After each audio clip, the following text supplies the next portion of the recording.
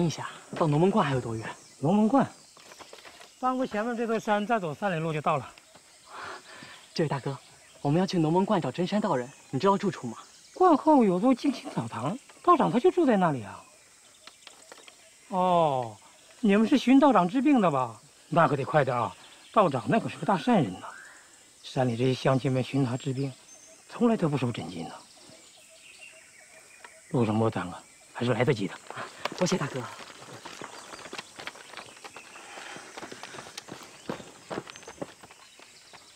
老爷，这真山道人是何许人也？医术真有说的那么神奇？比太原镇的大夫还厉害？见了便知，赶路吧。哎，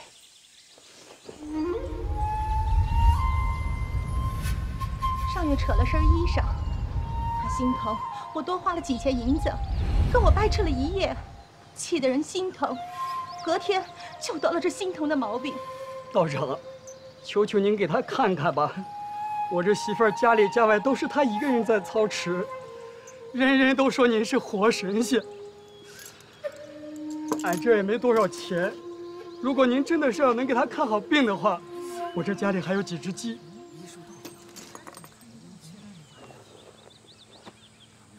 放宽心，身体并无大碍，我有一剂方子，专治此病。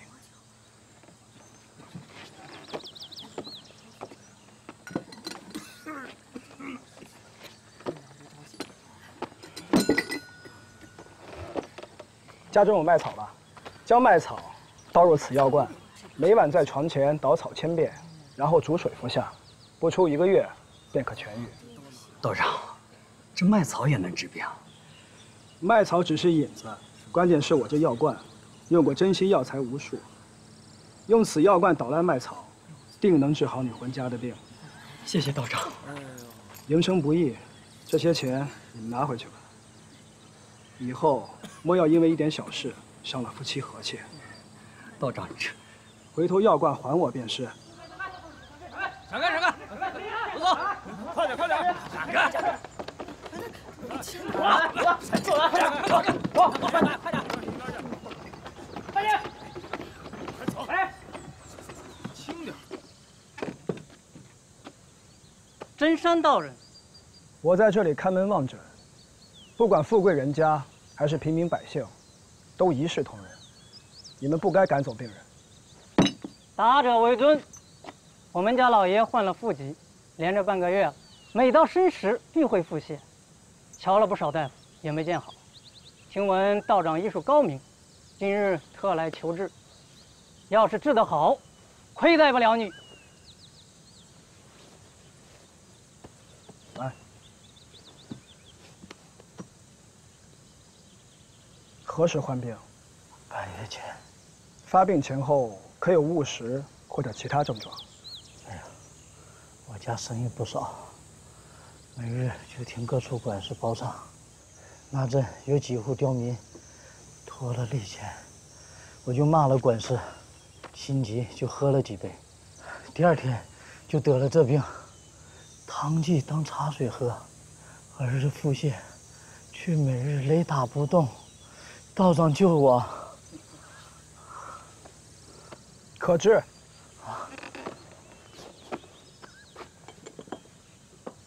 道长，能治就开方子吧。我们家老爷平常只喝雨前，你就不费心上茶了。快到申时了，我这壶茶可不是凡品，是战国时楚人所制。专治阴邪入府。员外，平日里可有仇家？没有，赖账不还的小人倒是有几个。员外那日饮酒，怕是被人动了手脚。表面上是腹泻，其实是阴邪入体，吃再多药也没用。亏得今日来找我问诊，如若不然，不出三五日，你们就安排后事吧。道长。你救我！喝了此茶，保你无事。好。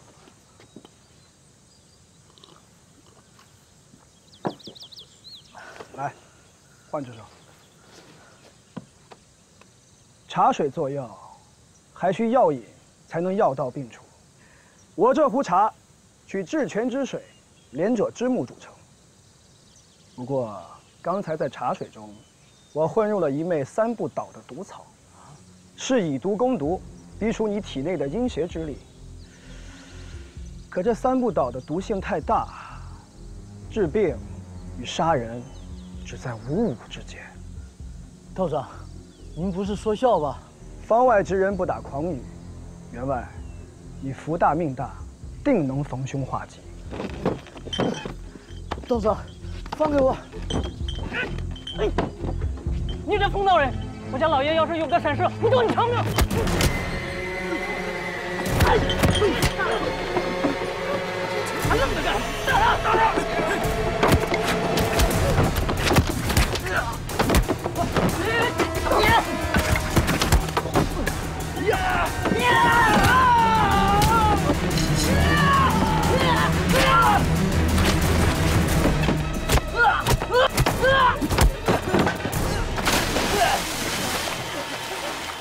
道长饶命！道长饶命啊！道长，都有何感觉？现在浑身难受，怕是要毒发了。申时了，申时怎么了？申时到了，可有腹泻之感？没有。恭喜员外，以毒攻毒，你的病治好了。就这么好了？这么神奇？道长，不服汤药就合理诊查，那茶中的三不倒。你表面看似腹泻，其实并没有病邪在内，不过是你平日里收账催账，肝火太大，加上那日又饮了冷酒，腹泻两次之后，心中便有了芥蒂，总以为某时还要继续腹泻，便以此形成了循环。每日申时发病，治此病简单，只需转移你的心思，打破循环即可。我说这茶中有毒草，不过是为了转移你的心思，吓一吓你。你刚才喝的茶，不过是普通的草茶罢了。我在这里看门望诊，本是出清净之地。你让家丁们赶走看病的山民，又口出不逊，无礼在先，我这才小丑了一番。员外，你这性子不改，若以后得了怪病，怕是真要和这三不倒了。对不住，对不住了，对不住了，对不住了，还不快走！好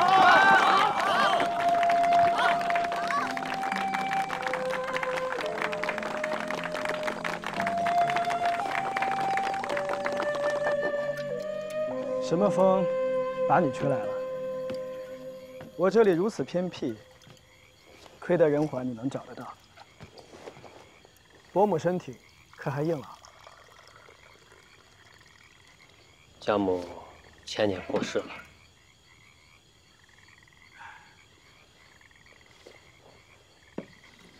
我有十年没回过太原了。父兄，太原变化真的不小，你应该回去看看。听说仁怀的变化也是不小。啊？前些年中了个大挑，在太原城当了个同知。父兄知道我书是读过几本，但是不比父兄大才，能当个佐僚官，已经很知足。倒是父兄，若是应试科举，入阁拜相，也是易如反掌啊。吾有梧桐树，敬君死之年守之，今已亭亭如盖。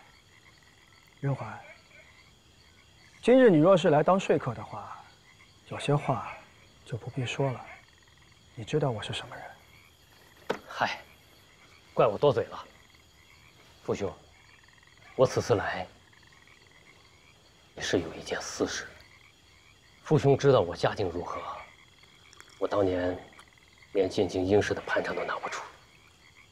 这次进京，全赖一位红颜知己。解囊相助。我侍奉母亲，一直未有妻室。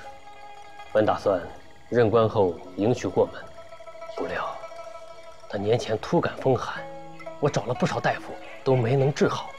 我知道父兄当年投笔从医，医术高明，我这也是没有办法，才想过来，请父兄去一趟太原。恭喜仁怀了，是哪家女子啊？哎，是教坊司的一位姑娘。有情人终成眷属，倒是不必拘泥于门户。既然如此，今晚你且在观里先住下，明日一早，我便随你去太原。多谢父兄。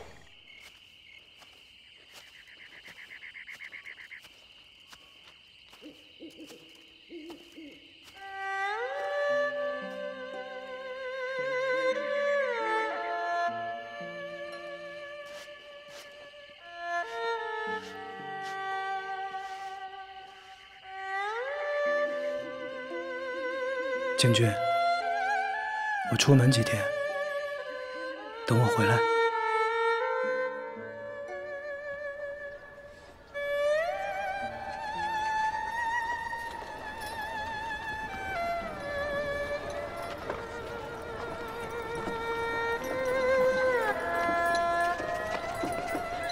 父兄，到了。苏增啊，把驴牵的马厩，看赏。哎，来来来，老爷给赏钱了。谢谢老爷，谢谢老爷，谢谢老爷赏。原主，原主，原主。哎，元怀，原主，我把父兄请来了。啊傅先生，啊，快请进。看一下姑娘的舌苔，患病多久了？年前受了凉，便不断咳嗽，四肢寒冷，身上却发热，咳嗽时轻时重，请了好几位大夫，说是小青龙汤对症，服了后却是咳嗽的更厉害了。给我看一下之前的方子。先生，退风熟热，颈寒居，无力而服，是血虚。姑娘，是久病肺虚。这麻黄和桂枝乃心燥之药，不可久服。服多了，便引起了咳血。那这该如何？笔墨在哪儿？先生这边。我重新写个方子，按此方子抓药，先服用三日。我每日里上门给苏姑娘切脉，若有变化，随时调整。谢谢父兄。苏姑娘身体虚弱，之前的方子开的不对火，调对了药量，她这寒咳病不出一个月便可痊愈。到时候就要讨一杯仁怀的喜酒喝了。哪里哪里，帮我在这附近找个客栈住下。明日我在东门给苏姑娘复诊。哎呀，这怎么成啊？还没有给父兄接风，难不成我这小院还住不下父兄您这尊菩萨呀？仁怀，你我相识已久，不必客气。我一个人清静惯了，离开太原多年，正好借这几日四处游历一番。也好。苏姑娘，告辞。先生慢走。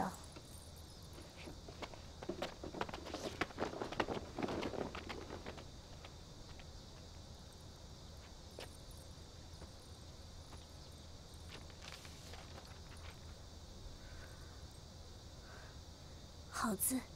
过几日我约听轩和念武一起，大家聚聚。有十年没有与父兄痛快畅饮。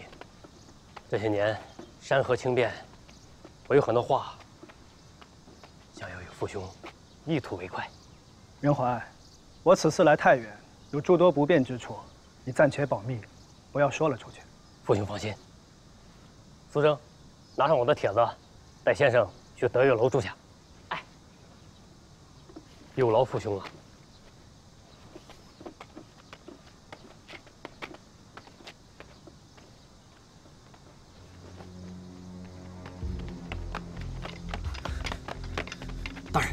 换身衣服盯着他，去何处，见了什么人，做了什么事儿，我都得知道。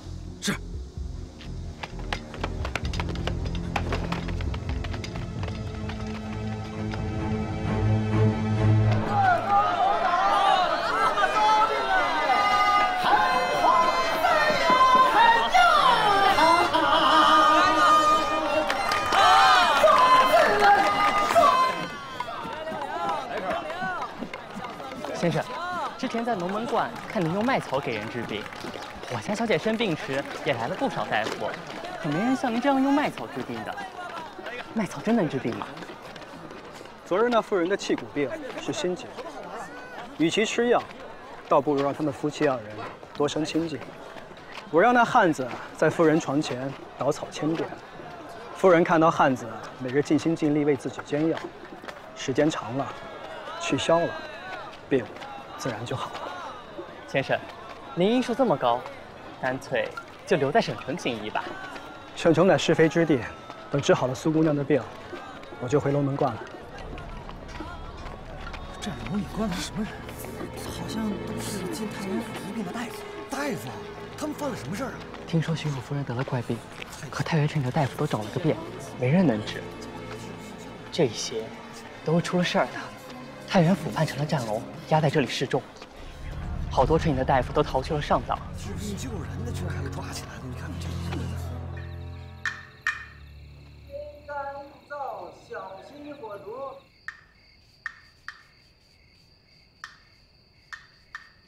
天干物燥，小心火烛。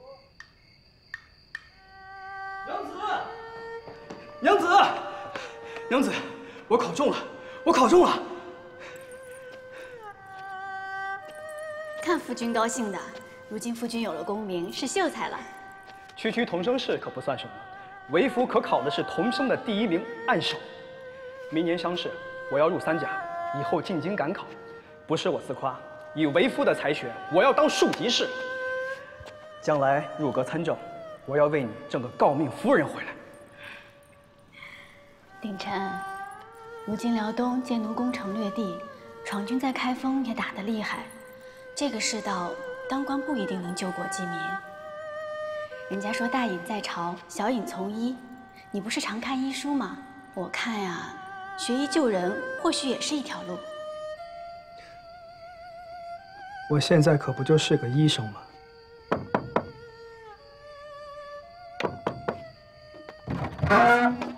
道长，有个客官找您。戴兄，鼎臣。走，喝酒去。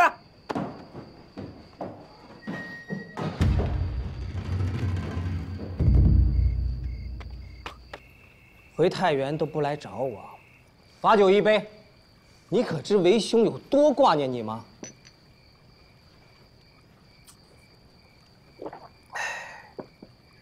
不是我不来见你，只是我在龙门观结庐而居多年，有些故友再见时。我怕不知该如何相处，倒是你消息灵通。是那熊奇派人来我这订席面，说是招待旧友。你知道我从来不和这种人来往。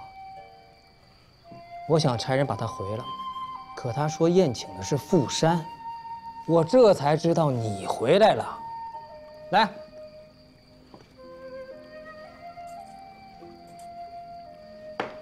想当年我们提携他。可他却忘了祖宗的衣钵，跑去谋了个官差，卖身求荣。最近你们为何打得火热呀？莫非鼎臣兄也耐不住寂寞，想到清廷那儿求官去了？我宁入道门，不愿剃发留辫，连你也不信我。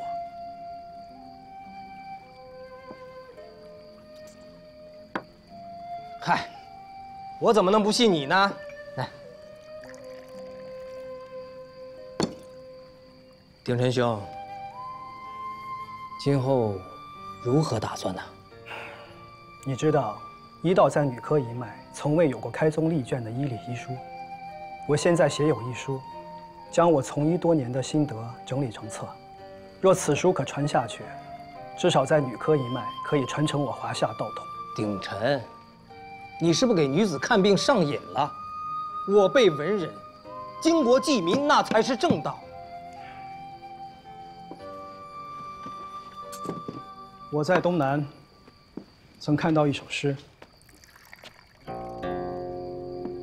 钱塘曾作帝王州，五木遗坟在此丘。游越旌旗伤豹尾，愁湖风雨隔毛头。当年公馆连湖起，此夜苍茫皆戍楼。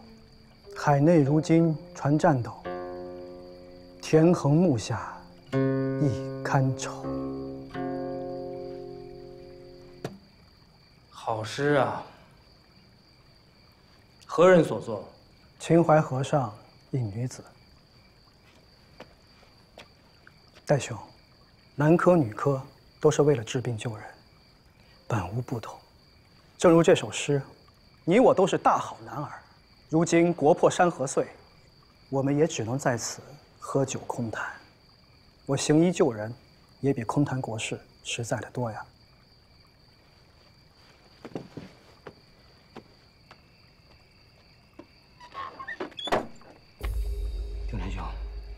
心怀前朝义士不少，反清复明未必是空谈。宋谦过几日来太原，他刚从广东回来，说有大事相商，正好你也在。不妨我们三人见面，商议一下。前年我在江南游历了几番，也曾见到了顾炎武。清廷根基已固，想要反清复明，已不可为。与其事不可为，倒不如留下些元气。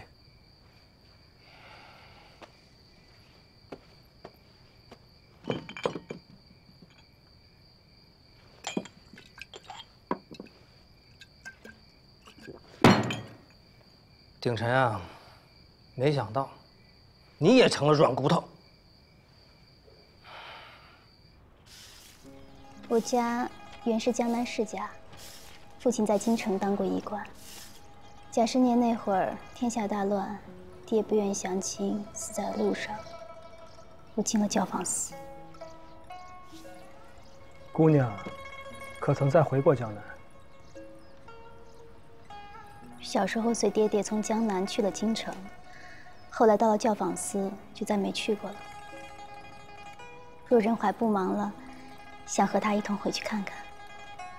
我开的药，姑娘吃了？昨晚就煎好了，按照傅先生的吩咐，昨晚和今早各吃了一副。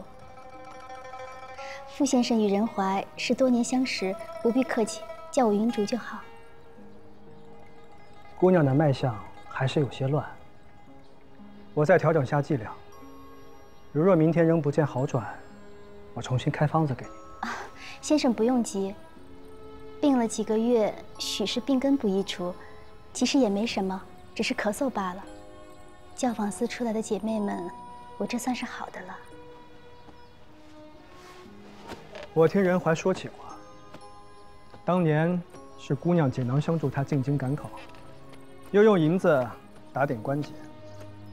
有情人大多情深缘浅，难得苏姑娘自赎出身。如今仁怀有了功名，正是一段佳话。姑娘的寒咳只是其表，可心里忧伤，什么药都治不了。仁怀说姑娘多才多艺，倒不如借琴棋书画。托付心情。其实，仁怀就是药引子，该多陪陪姑娘。这里只是别院，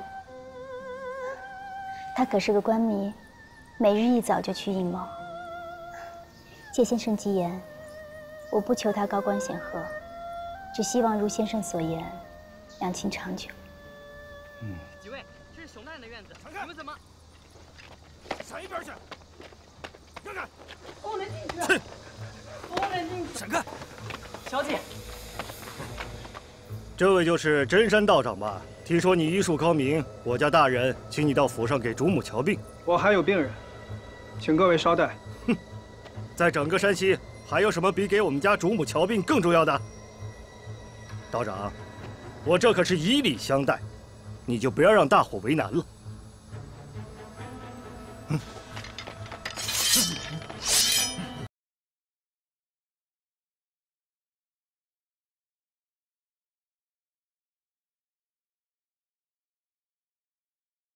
王管事，嗯，误会误会。父兄，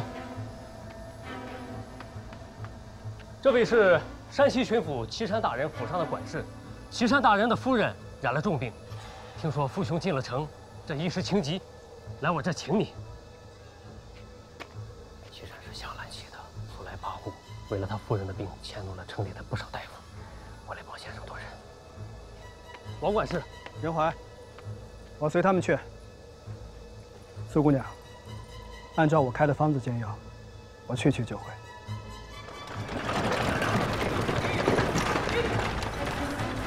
这帮子庸医！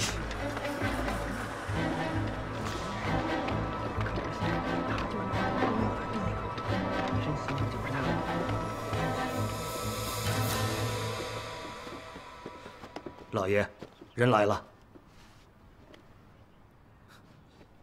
大胆！还不跪下行礼！嗯。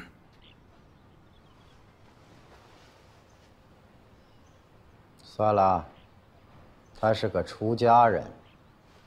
听人说你医术高明，把你请到府上来给我夫人瞧一瞧病。若是医得好，我自然不会亏待你；若是和府外那些个郎中一样，你自己掂量着办。治病救人，是我的本分。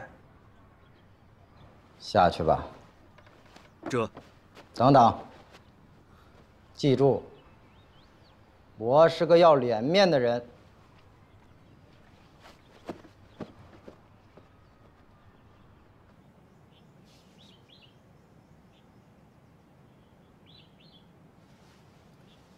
大夫，怎么样？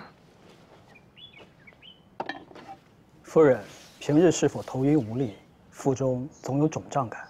您说的非常准。这些日子全身无力，腹部发胀。这一两天时常头晕欲睡。夫人，您的冰镇银耳，放那吧。是。夫人，可否借我身后的姑娘问话？待我问清此病的前因后果，再开方子。庸医，庸医！之前的庸医开的是保胎的药，你开的却是滑胎的药。哼，宁医，带下去，关到府衙前的战笼里。是，大人要脸还是要命？你说什么？夫人的病本不难治，难的是大人愿听真话。什么是真话？夫人之前用的都是安胎和保胎的方子，但脉象却十分紊乱。都说夫人怕冷，喝的银耳羹却是让丫头们用冰镇过，这是外冷内热之兆，且腹中隆起，有发硬的感觉。夫人不是有孕在身，而是腹中生了血块，若血块不除，再拖延下去，恐怕会有性命之忧。没有身孕。危言耸听，好大的口气！我夫人要是有什么事，我把你们这些庸医的命都添进去。我愿立下军令状，若此病不治，我以命偿命。老爷，老爷，老爷，夫人晕过去了。什么？大人，我辈医者以济世救人为己任。夫人是否有身孕？大人应该自知。道长，救我夫人！大人定要按照我开的方子抓药，再从府上招来几个会接生的婆子，一切由我做主。依你。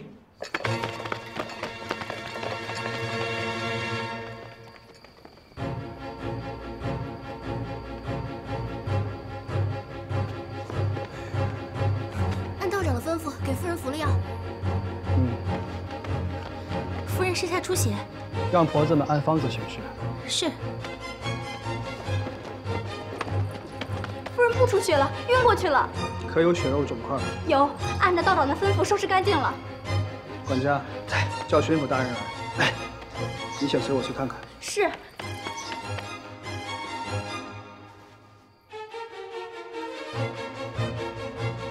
腹中还有积水，需用金针刺穴放水才行。到底要怎么治？褪去外衣，在囚衣上割出窗口，我以金针刺入身体放水。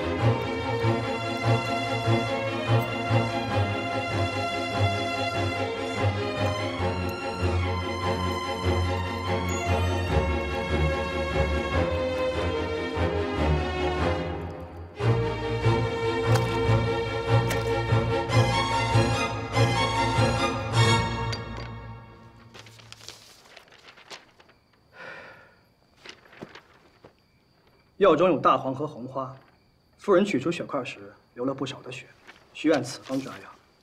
腹中血块已出，已无大碍，按照此方食补下去，不出一月便可痊愈。若真能治愈夫人的病，我自然不会亏待你。带道长下去休息。是。夫人当前只是气虚晕了过去，明日便可苏醒。我还是回客栈吧，请大人放心，以雄奇作保。我不会出城，有事随时差人来叫我。这巡抚衙门煞气太重，我出不惯。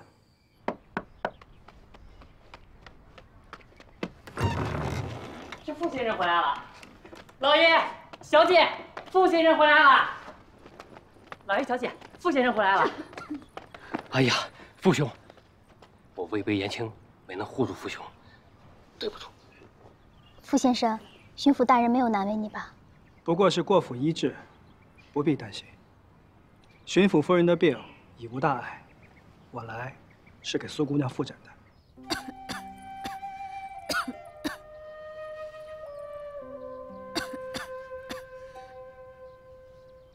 我开的方子理应不该有事。先停药一日，带我回去想一想。傅兄不必着急，治病救人怎能不急？仁怀，你如今有了功名，又有了苏姑娘作伴，你该知足。平日里要多陪陪她。我看她这病情，一半是寒咳，一半是孤独自伤，有了心结。你不要像我这样，一辈子的话都攒在了心里。能说之时，不愿多说；想说之时，你找不到说的人。留步，有劳父兄了。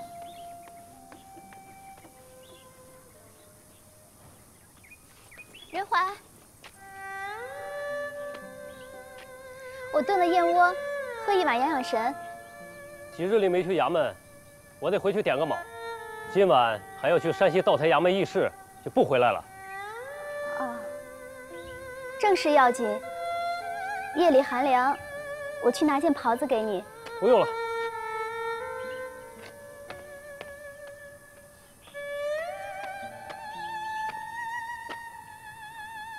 明日庙会，我回来陪你看灯。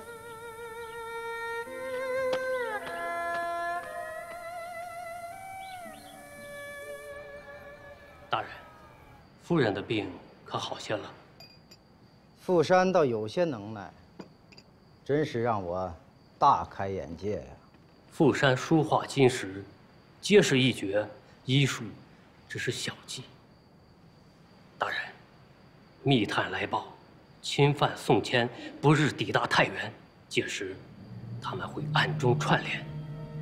我们按照原计划，杀一儆百。朝廷恩典，征召各地的前朝名士。可山西这帮子文人心怀前朝，不愿为朝廷效力。先砍他们几个，剩下的也就都老实了。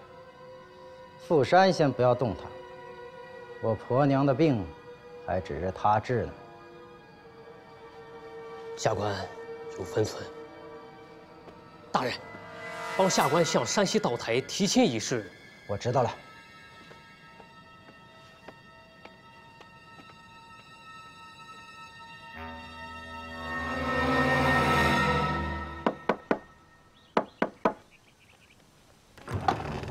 生，来，快请进。袁怀呢？去了衙门，今日灯会，衙门事多。苏姑娘，停药一日，你这气色反倒好了一些。小姐，东西买来了。好。傅先生，今晚我下厨，请先生尝尝我的手艺。等仁怀下了职，你们再小酌几杯。先生今晚一定要看看灯会。甲申年以后，这可是太原第一次办灯。我一个人清静惯了，就不去凑热闹了。在客栈里听听爆竹，看看烟花，也就罢了。啊，我是身子有病，不便去看。想不到先生也有不便之处。先生先去坐坐，我换了衣裳下厨。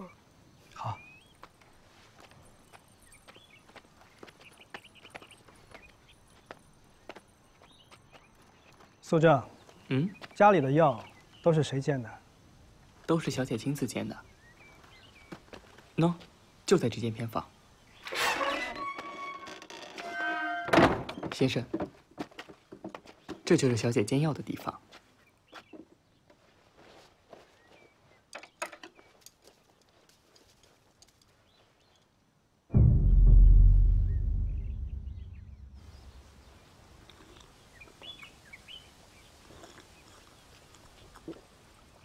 苏姑娘，好手艺，我都吃了三碗了。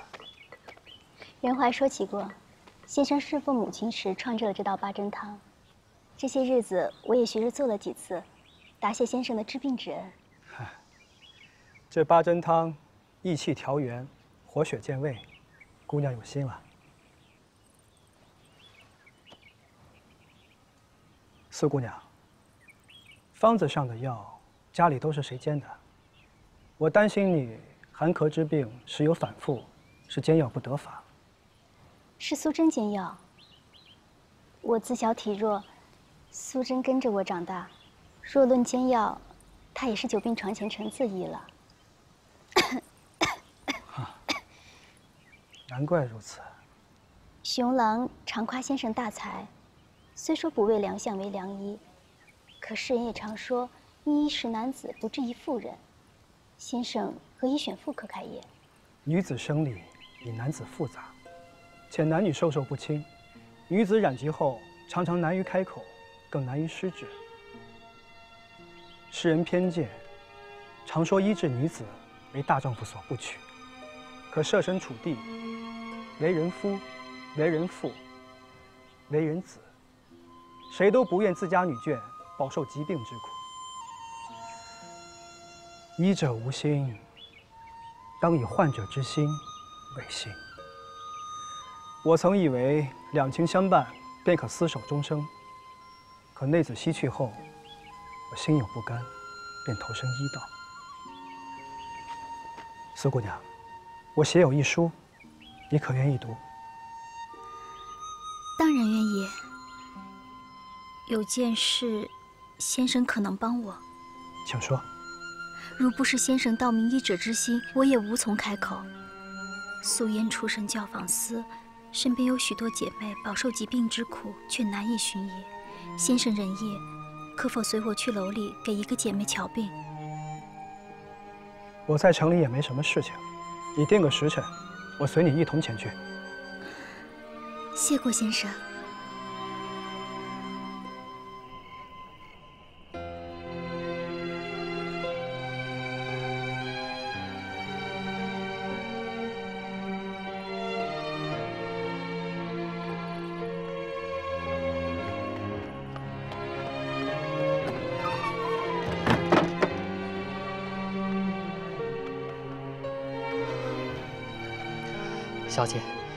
老爷说今夜轮值，晚上就不回来了。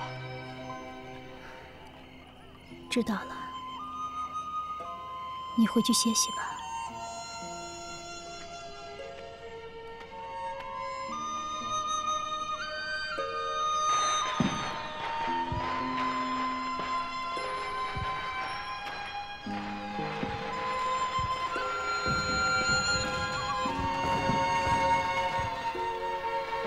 七弦琴，五星弹，八行书，无可传，九连环，从中折断，十里长亭，望眼欲穿。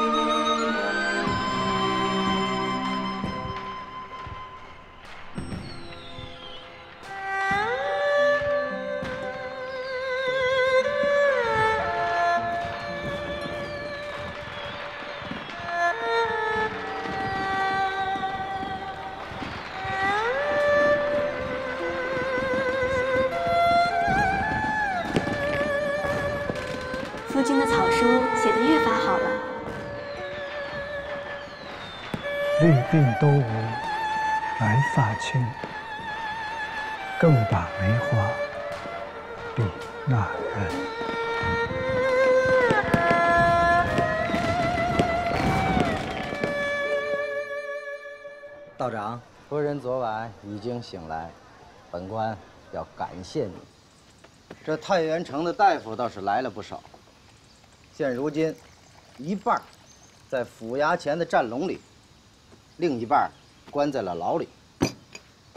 这帮子庸医啊，开的不是保胎的药，就是安胎的药，还贺我老来得子，他娘的，摆明了是在骂我。道长是怎么看出来的呀？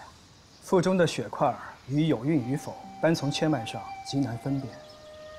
我问过夫人的贴身丫鬟，听闻大人今年纳了两房妾室，这几个月很少来正房。得知夫人有孕在身，如同触了逆鳞。大人一发官威，郎中们哪里还有胆色为夫人细心辨证治病？开保胎的方子，不过是四平八稳，但求自保罢了。我本是个粗人，入关时立了战功，抬级入了旗，那都是夫人的功劳。这事儿没法深究，只能拿外人出气。道长救了夫人，我自然不会亏待。医者救人乃是本分，大人不必谢我。但大人实在不该迁怒郎中，使一城百姓人心惶惶。请大人抵送被扣押的郎中，轻医者之声，正医者之名。好，来人呐！老爷，把衙门前战笼里的人都放了，每人发二两银子，作为诊金，对他们客气些。这，爹爹爹爹，我也要喝。来 来来，过来过来，过来。我也要喝。来来，先放下，喝一小口来。等你娘病好了，可不能告诉她啊。小的脾性和我一样，小小岁数就爱骑马射箭，没事啊还和老子抢酒喝。大人，我观公子气色不对，似乎身染重病，需尽快调治，否则有生命之忧。小子骑马射箭，样样像我。道长是会看病，难不成没病看出病来？之前对城里的郎中不敬，是我的过错。小子壮得很，你莫要吓我。也罢，这几日我就住在客栈，大人有事尽管让管事叫我。我家老爷病了，劝了向副道长求治。求道长，求道长，我们要见道长。听我说，听我说，道长不在店里。他什么时候回来啊？先生，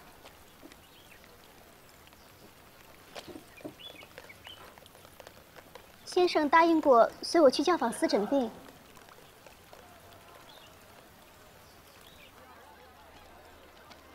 自从明姐生了病，也不愿意见人，就一直住在这后院里。司姑娘来了，看明姐呀。嗯，你忙吧，我自己去。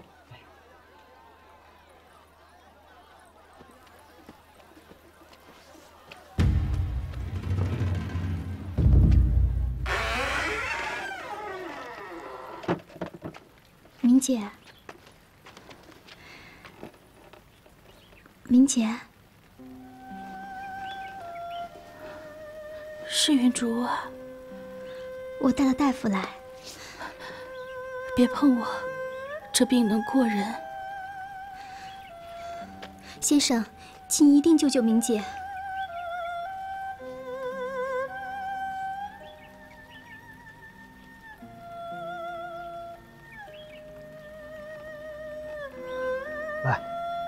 搭上来。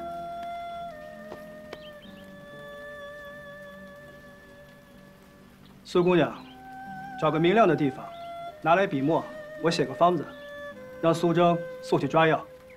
哎，傅山是真有才华呀，而且为人也硬气。这种人不为朝廷所用，太可惜了。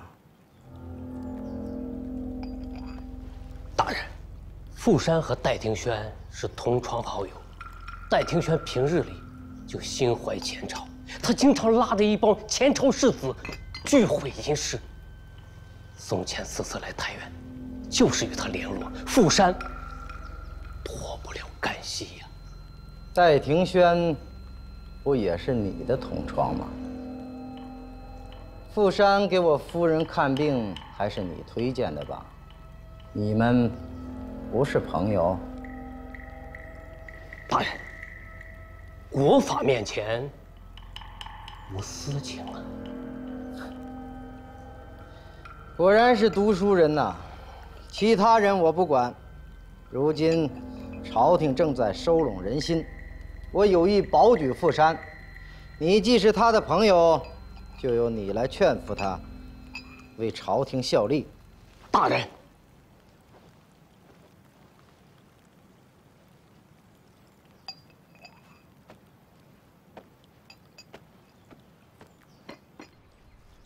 云竹，是我拖累了你，还来看顾我这个丑八怪。才没有，等病好了，姐姐就能跟以前一样好看了。客人们常说，明姐笑起来就像春风吹皱的湖水。你等一下，姐姐的积蓄都治了病，没什么能送你的。听说你找了个好归宿，这个呀，就当是姐姐送你的嫁妆，拿着，拿着吧。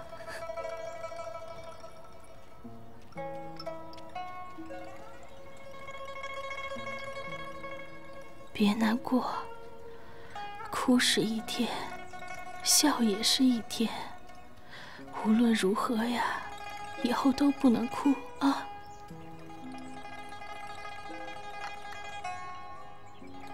苏姑娘，你来。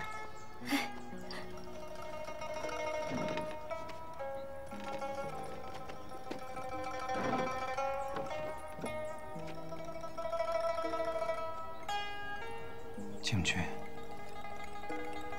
或许你想不到，在我当了十四年医生以后。遇到了一个能够传承医术的女子。你当初说，女子也能学医救人。若是你现在看到这一幕，会欣慰吧？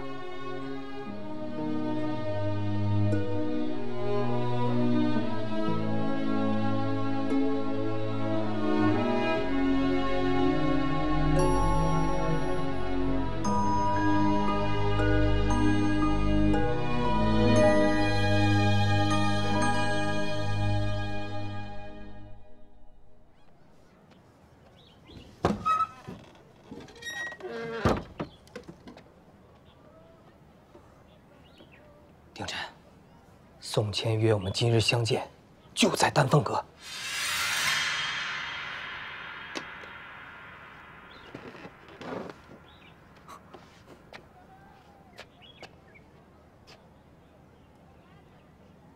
你可是怕被连累？鼎琛，你连这点担当都没有了吗？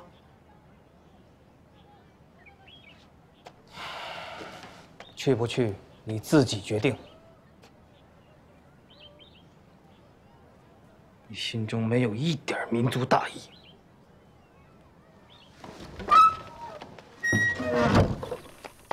大人，宋谦与傅清主在丹凤阁见面。何时？就在今日。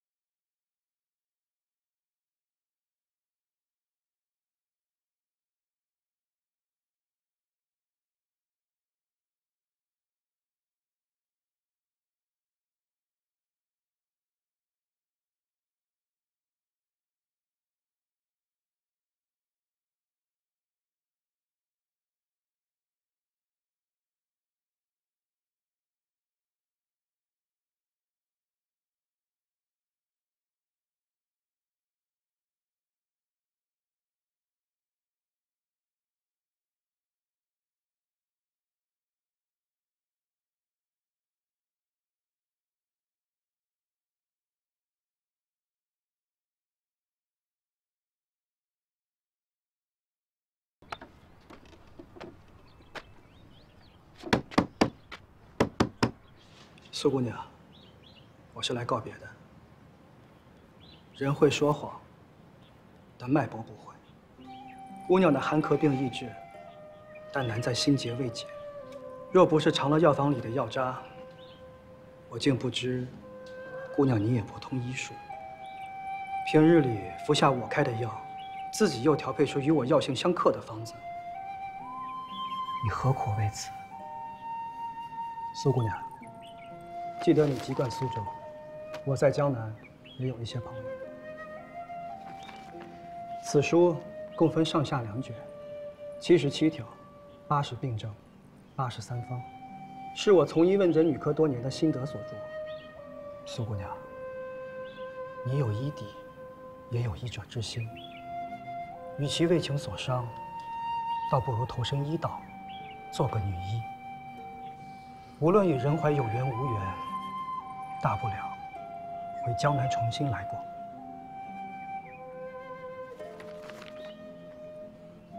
先生的心血，我如何感受？这本书有名字吗？无名。当初抄时，只以女科上下卷分之。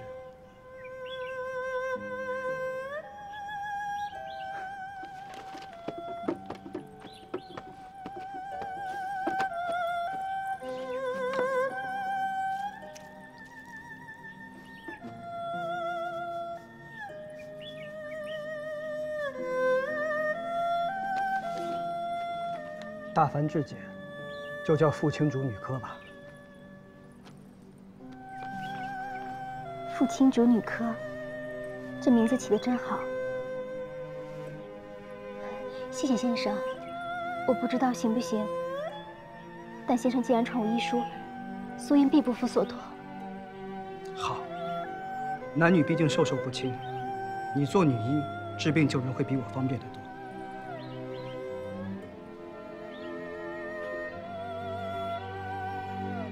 仁怀和我说天下，可大明亡了，我救不了天下，只能将这一脉香火续传。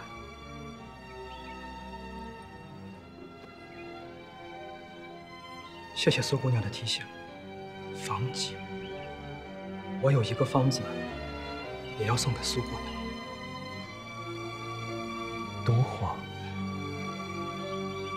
望江南，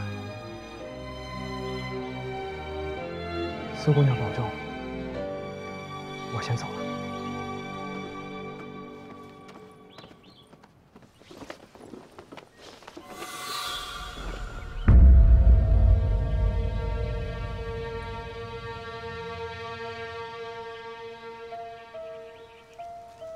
你刚刚去哪了？答应送苏姑娘一本书，给她送来。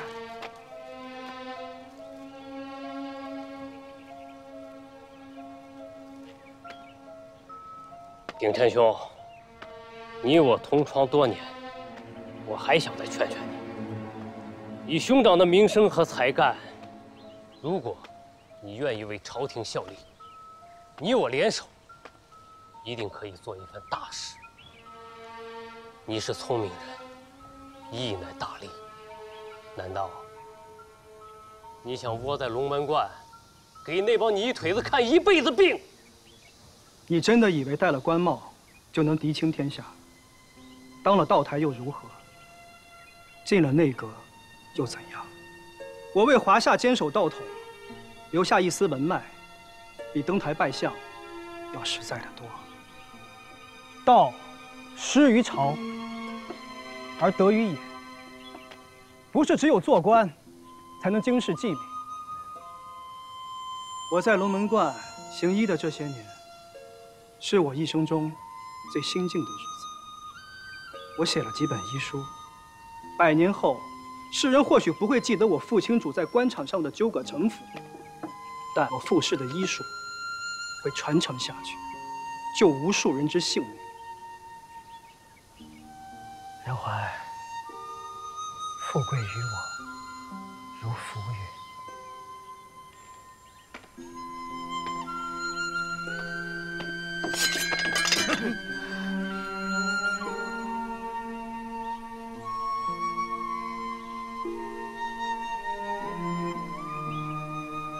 我给过你机会了，你高看了戴庭轩，也小看了我。带走，走，走，快，走。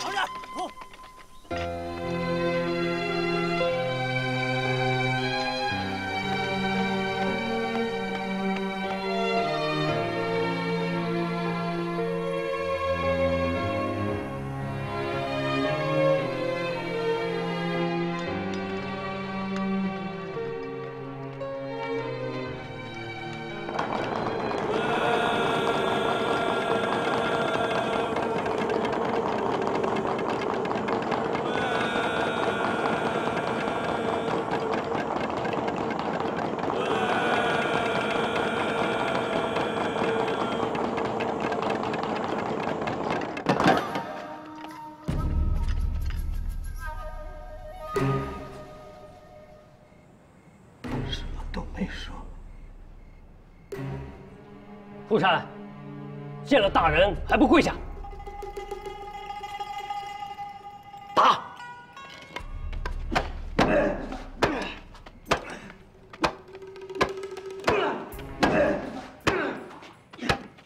住手！真山道人，不对，富山，你敢串通反贼？你可知我大清律的厉害？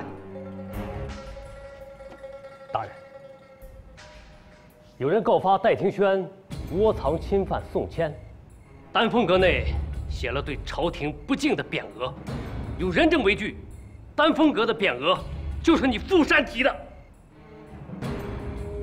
梦于古观长者数人，不惧朝于国外，呼呼变异，回顾无复平壤。大人，这明明是怀念前明衣冠，阴谋反我大清啊！匾额是我提的，和戴庭轩无关。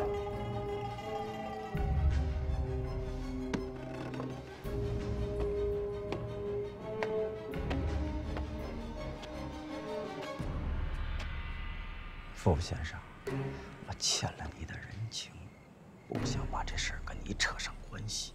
你要三思，别谈一切有事。傅山，你神志不清，一派胡言！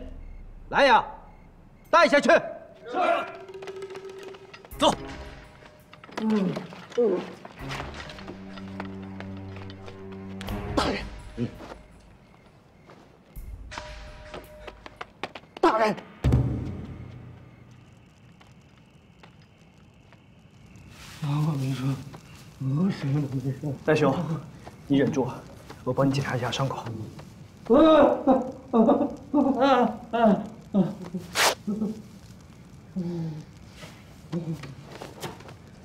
老头，老头，老头，谁呀？是谁家死人了，在这里乱叫？老头，他伤得厉害，能否找来些清水和纱布，再拿些止血药？傅先生呀，我知道你，这送你进来的兄弟们说了，你是名人，可是这牢里他有牢里的规矩，要办事儿难买民钱。你知道我？山西民儒嘛，傅山，傅钦卓。我轻易不写字帖，但我傅某人的草书在外面倒值些银两。这样，你拿来笔墨，我写字帖给你，拿去换钱。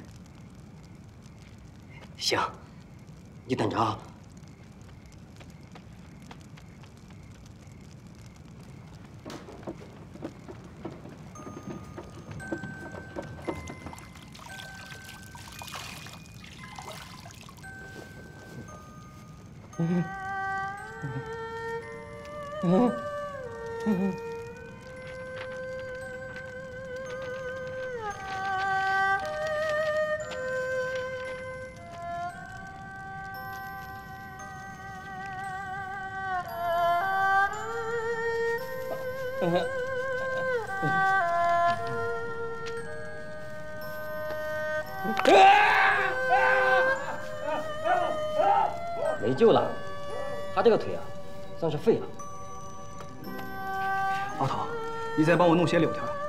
些草药，打壶烈酒，酒要越烈的越好。傅先生，你别折腾了，在这里我什么样的伤没见过，他这腿治不了。我能治。你知道这次该卖去哪里，能卖多少银子吗？山西学政、太原知府都曾找我求过字，卖给他们，一定不会少了你的银子。真的？嗯。那你能不能再多写幅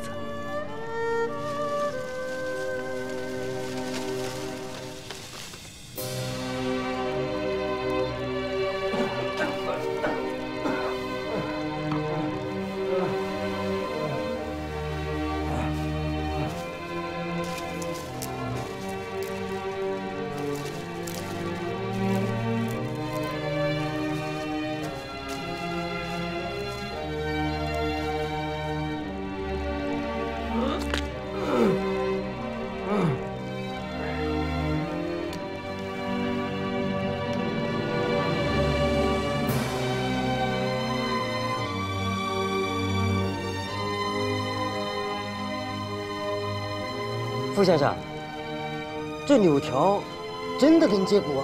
权宜之计。我用甘草水清洗过伤口，柳条固定断骨，再配上活血化瘀、消肿止痛的草药，半年后便可痊愈。神医啊！这些日子还是要劳烦牢头照顾。每日里提一桶干净的清水，再拿些干净的纱布换上。我怕他伤口入血。行，行。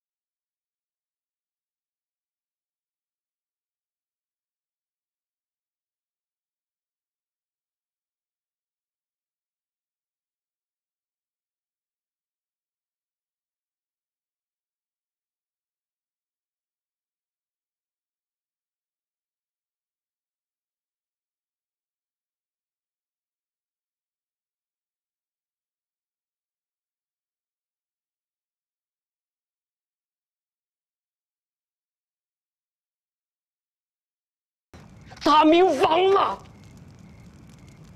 但是我还要活下去，天下的百姓还要活下去。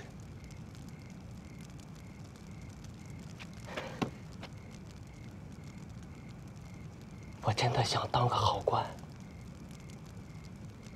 你还记得当初我们心怀天下？心怀天下，没有天下可以怀在心里。或者说，有一个天下，谁也没有办法心怀。我从未看不起你，只是一个读书人。说天下，就如同僧人谈论佛祖，像是抬出天意。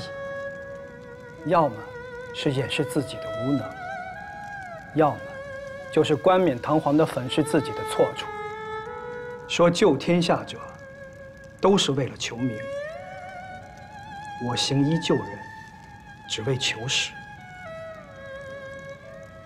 名，我求过，现在只为求实而已。熊大人，我心如此，望你成全。我成全你，谁成全我呀？你少在我面前装清高。要不是你在岐山面前阿谀奉迎、顺用世职，他怎么会如此看重你？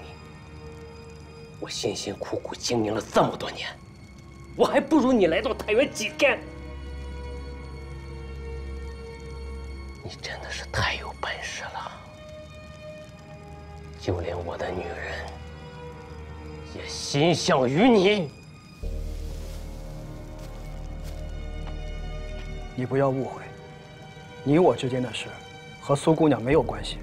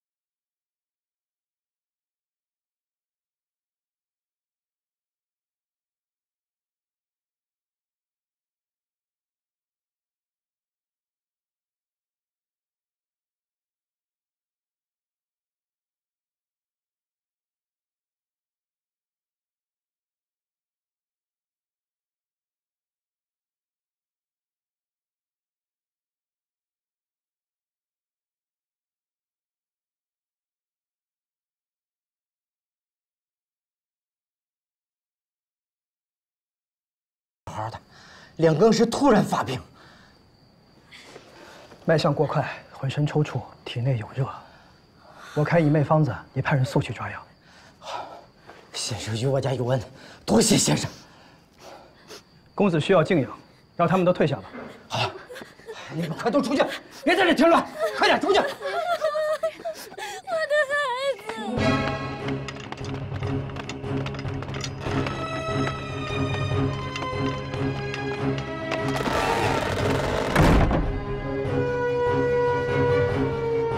我的药箱拿来，我为公子活血。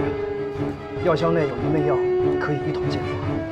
我为公子推拿穴道，助公子醒来。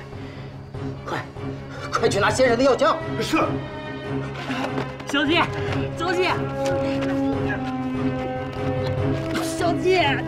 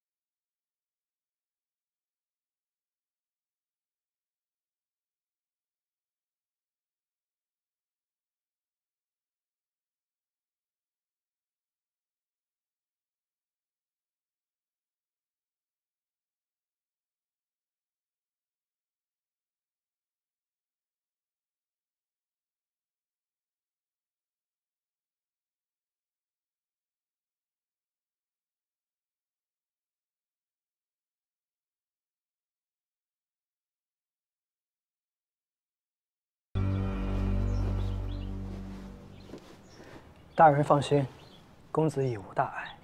吓死我了！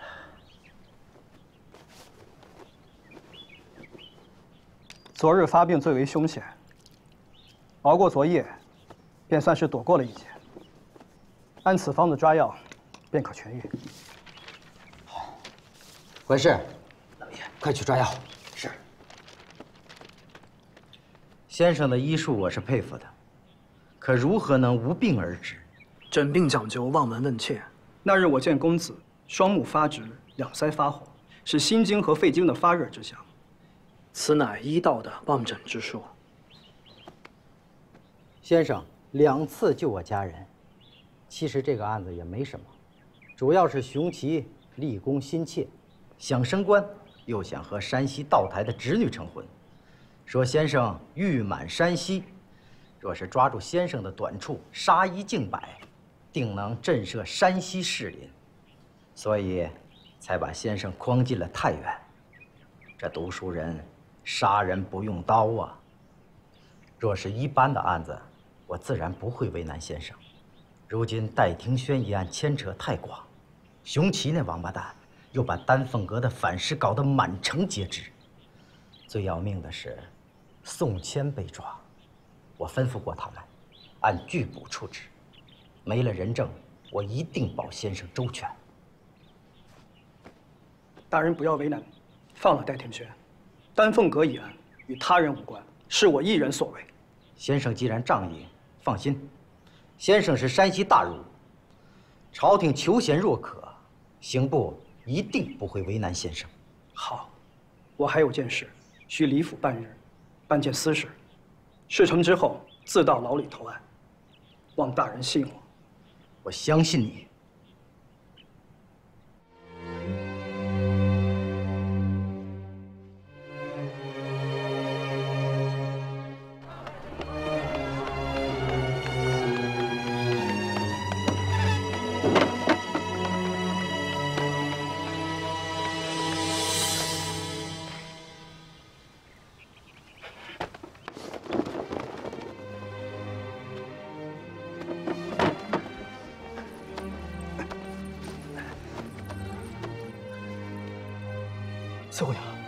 苏姑娘，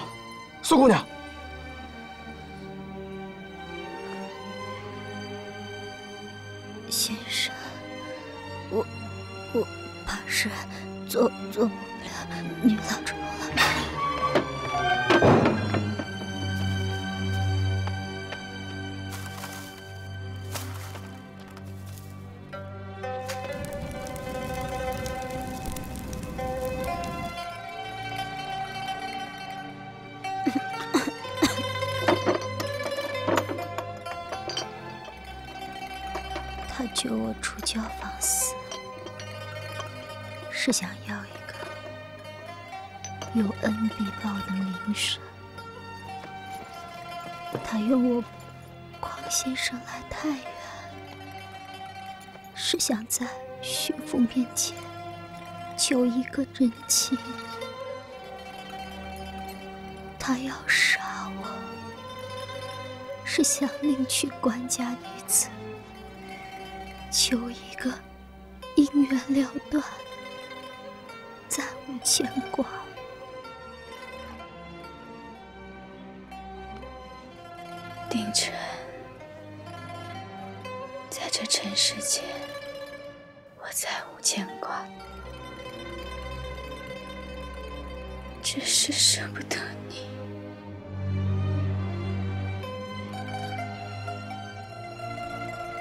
我问过他三件事：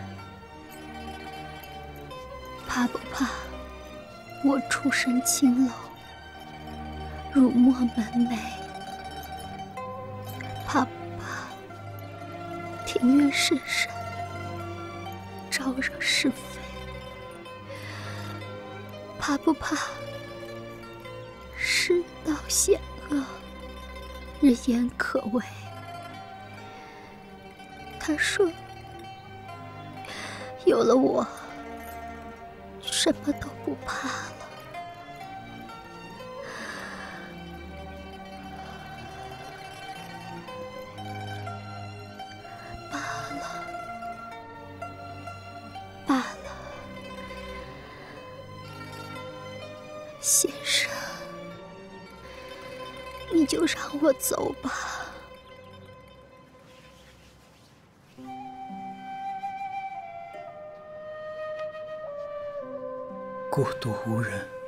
情衷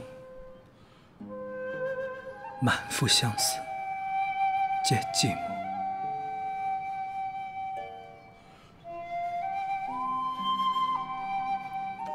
景君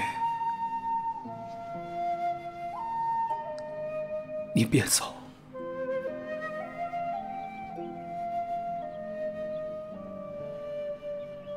你还要回江南还要做女大夫还要救治青楼里的姐妹。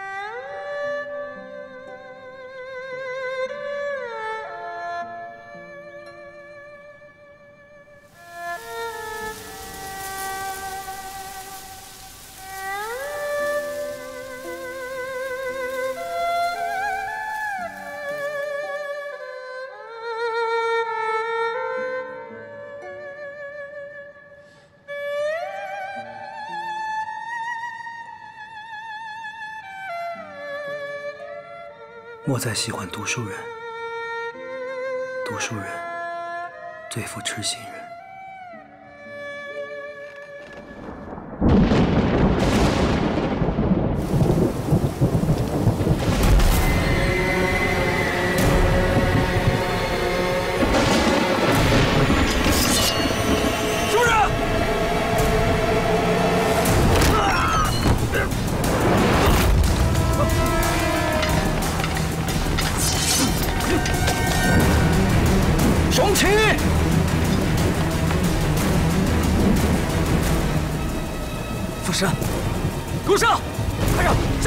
杀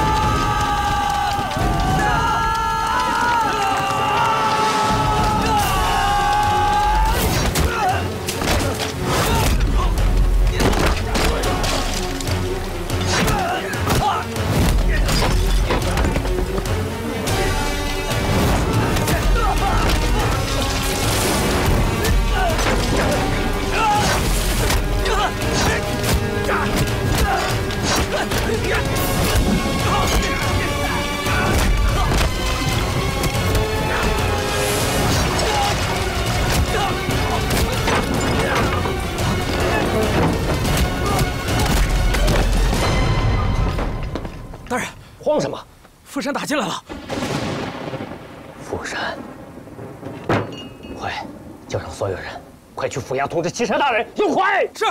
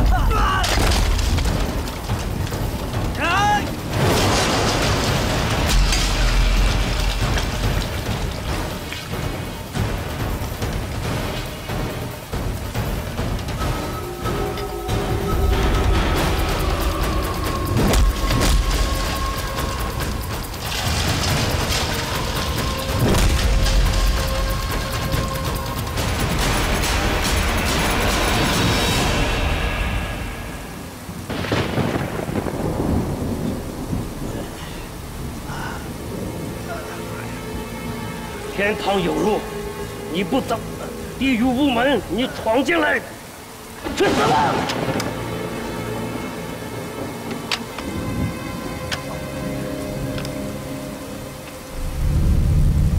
天不容你